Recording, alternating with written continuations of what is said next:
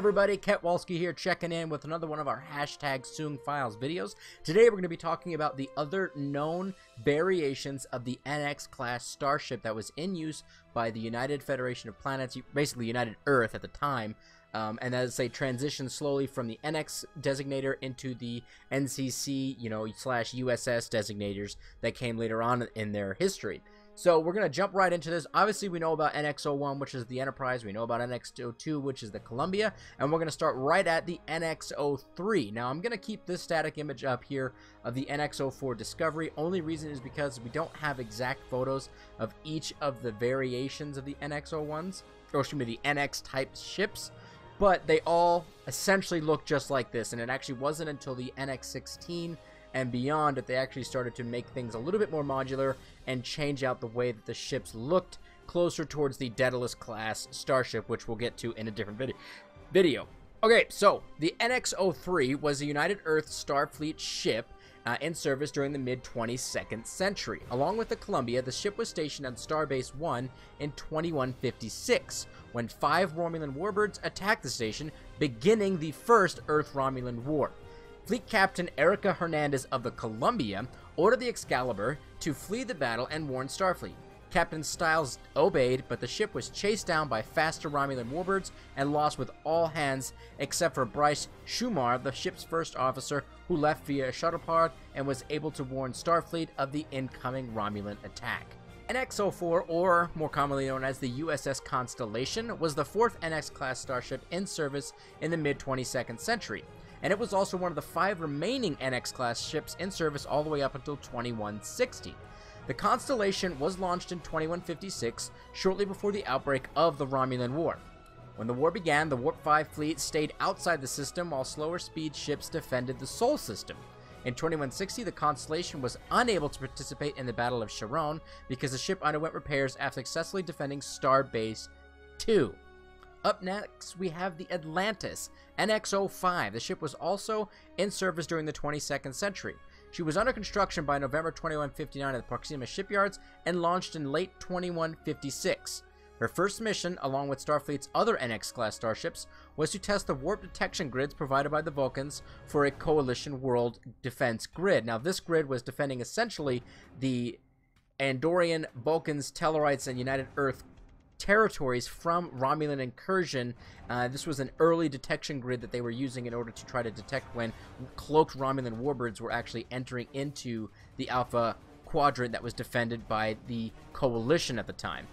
At one point, Atlantis accompanied the newly refitted Columbia class on a days-long standoff with a squadron of four Romulan birds of prey. The Romulans shot first and hit the Atlantis. The Earth forces damaged one of the birds of prey and disappeared with the others.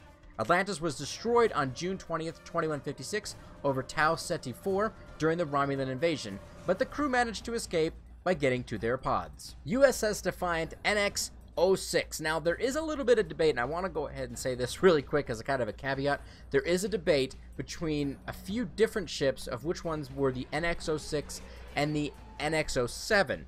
Now, I am going to maintain that these two ships are the more proper beta canon versions of the NX-06 and NX-07, uh, just because of the references used for them are actually the 100 Starfleet Federation, the first 150 years, and the other ones were more personal novels written by specific authors. So that's why I'm going to go with these two ships instead of the other ones. But again, there are multiple variations of who the NX-06 and 07s were, even during the time line, not even considering alternate time prime lines. The USS Defiant was in service around the mid-22nd century and was an active service ship all the way up until the year 2160. Along with the USS Enterprise and Atlantis, the Defiant took part in the Battle of Charon, and it was destroyed above Charon by Romulan warbirds during that battle. The USS Lexington, or as some know it as the NX-07, was of course active in service up until the years 2160. Following the declaration of war against the Romulan Star Empire in 2156, the Admiral Raphael Douglas cherry-picked individuals from influx of labor to the Utopia Planitia shipyards. Less than three weeks after they declared the construction on the Lexington and the Defiant, they were actually launched from the Utopia Planitia shipyards. Just think about that. The Utopia Planitia shipyards created two NX class warships in three weeks' time. That is phenomenal. On January On 10 January in the year 2160, the Lexington led a fleet of Denobulan warships towards the Romulans in a bid to get the Romulans to retreat from the Battle of Charon and to defend their homeworld. The ruse was successful and enabled the USS Enterprise and the Atlantis to destroy the IRW Koto, the NX-09. We don't have any information about the NX-08, unfortunately, so we're going to have to go straight to the NX-09. Now, this was only spotted during the Star Trek video game known as Legacy. It's a game that came out for the Xbox 360, and I think you could get it on PC for different variations.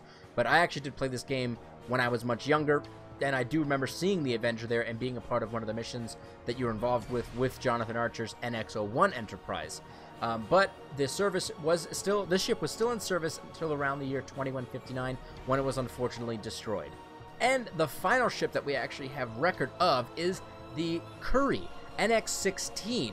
This was the last NX version, the next NX variant ship to be deployed until they actually switched out to the NCC designators, the USS and NCC designators for all of their starships in the Federation. So this was the last NX ship to be constructed and actually used in service up until the year 2159/2160 when the ships all the NX ships were actually slowly phased out as the new Daedalus class starships were phased into the fleet. Anyways, that concludes today's video. I hope that you guys and gals enjoyed hearing a little bit more about the variations of the NX starships. Me personally, I love the NX look. I love the style. It's one of my favorite things about the Enterprise show is the ship itself, and I think it just looks awesome. I love the idea that we built up from these slower, less warp capable ships all the way to this massive, powerful Warp 5 fleet. The Warp 5 fleet became very, very powerful during the first Earth Romulan War and was vital in the Federation ensuring victory, or at least rather a ceasefire, in during that conflict. So, so you did not want to fuck around with the Warp 5 fleet. When these ships came coming and knocking, you better get to running. Not even a rocking. You better get to running because they're gonna fuck your shit up. So that concludes today's lore video. Please tell me what you guys and gals think about this. I want to remind everybody again that this is all from the beta canon. So alpha canon being the shows and movies, beta canon being from the books. Most of this stuff came from the Star the Starfleet book, The First 150 Years, while some of it did come from video games as well, the Star video game Star Trek Legacy. I just want to throw that caveat in there for those of you who are looking looking to find out more additional information about where these particular ships appeared in the Star Trek canon slash timeline. I hope that you guys enjoyed this video. Please throw a like and a subscribe up on YouTube. Please throw a follow up on Twitter. Please follow me on Facebook at facebook.com at RealKetwolski. And I will see you guys next time. Live long and prosper, my Trekkies.